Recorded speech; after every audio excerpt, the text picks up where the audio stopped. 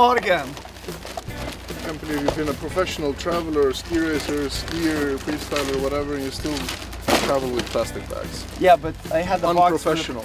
I had the box for the bindings break. So now I'm taking the last resort. That's though. So you can see outside, it's kind of snowing hard. So we are gonna go over to the head factory um, for a couple hours, mount some skis, make some boots, and hopefully wait for the weather to give us some skiable conditions. Luckily we have Mr. Hans with Mr. Ski Team Sweden Alpine giving us a ride. Since my cars are being rebuilt and all this stuff. So we're gonna go to head. Get my race skis wet. That's the beauty about freestyle skis. It's much easier to take care of than race style. Okay. We go? You're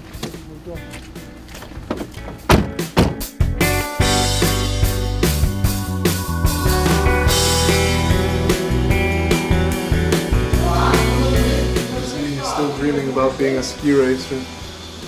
Huh? I see you're dreaming about being a ski racer. Yes. Because now I can dream about it. I know, yeah. So I can dream that Dreaming is so much easier than doing.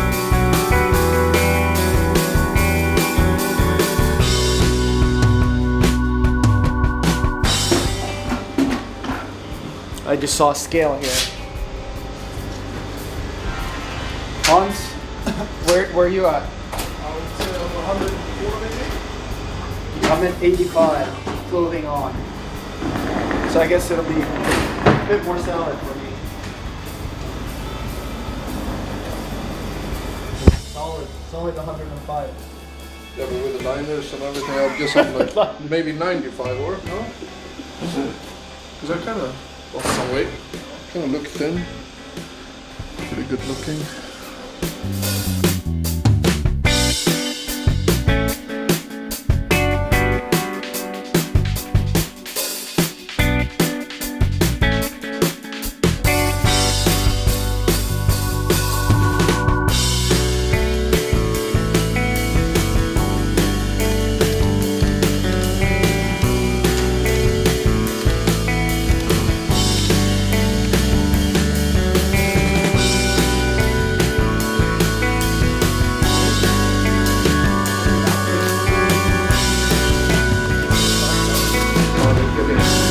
They're fitting fantastically.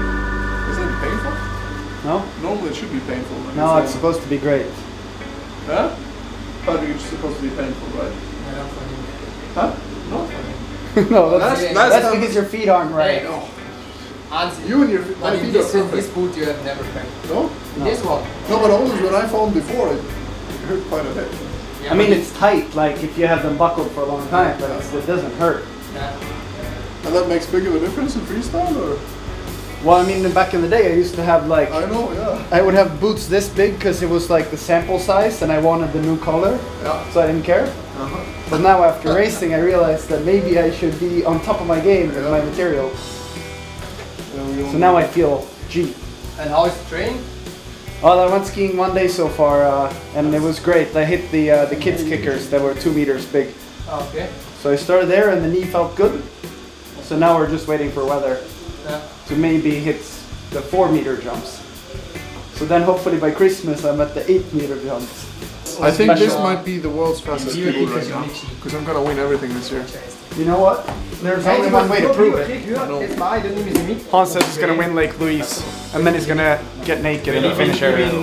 Första i vår Oh yeah. If I go into the lead, I'm gonna get naked. Sure. I'm gonna. Uh, even, even Sure. Let's pray that Mr. Hans is winning Lake Louise.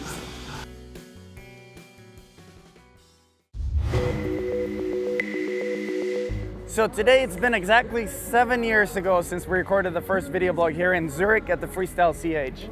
This time I'm only here as a spectator and it's kind of nice to not be nervous, although... And I just looked on the ceiling and realized that I was jumping. So um, next year, you know, there's going to be a really old guy here, but you know, I figured it'd be a nice time to announce it here that I'm not going fully back to freestyle.